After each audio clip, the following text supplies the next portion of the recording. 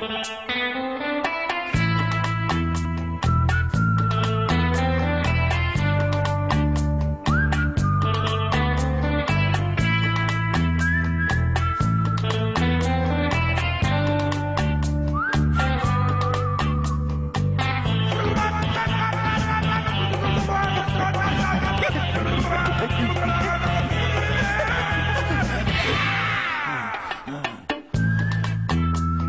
नया centre shock चुईंगम